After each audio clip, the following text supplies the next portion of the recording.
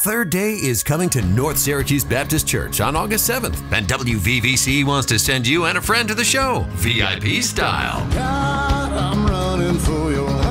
Just log on to adkpraise.com, click the link, and enter to win.